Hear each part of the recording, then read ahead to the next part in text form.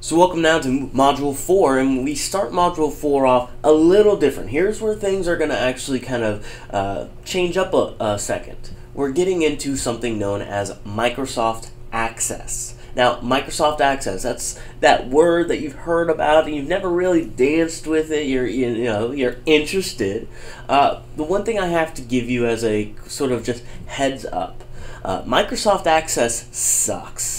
Uh, the reason why is because what we are introducing is something called databases. Now, a database basically runs our world. Everything that we uh, do, everything that we work on, uh, being a student here at Cape Fear Community College, uh, your bank account, everything is stored in a database. And it's a little bit more of coming, you know, that man behind the curtain, you know, the exact same thing that we saw with Microsoft Excel we started to see, you know, oh, hey, you know, there's mathematical formulas. We have to do these in a specific way.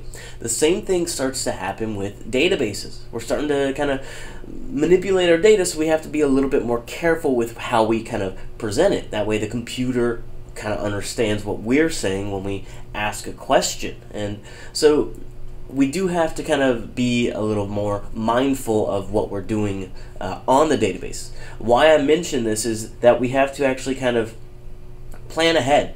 Uh, and as such, uh, I want you guys to plan ahead for your assignments. Uh, on average, what I hear students saying as the uh, SAM assignments for Microsoft Access take roughly an hour to an hour and a half. And that's even the people who already, you know, they're, they're computer people, and they're probably not even watching this YouTube video, it's going to take them time to do these uh, assignments. So go ahead and plan ahead. Don't wait until Sunday to start on these because you're not going to finish them, which means you're going to get zeros on those assignments.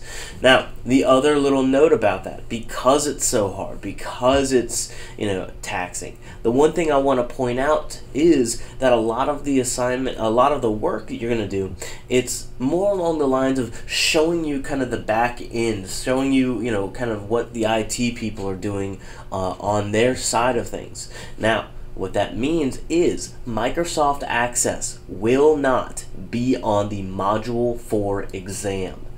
Let me repeat that. Microsoft Access will not be on the Module 4 exam. What that means is we get to PowerPoint, we get to integration. Yes, those will be on this Module 4 exam. Access is not going to be on the Module 4 exam.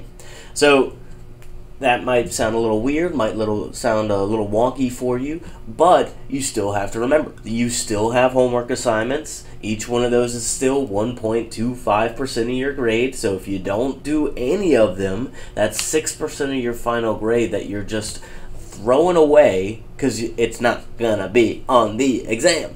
So yes, you do still have to do these things. Yes, you still have to go through the song and dance of, uh, you know, hating it just for a little bit, only for two weeks, because as soon as we finish up uh, Microsoft Excel or Access, right after we finish Access, we move into Microsoft PowerPoint, and then we get into integration, and then, well, you might find out that we're right around that time for the final. So you got enough time. Knock it out. I think you guys will see. It's actually kind of fun. It's uh, it's really interesting uh, to work on databases. So best of luck.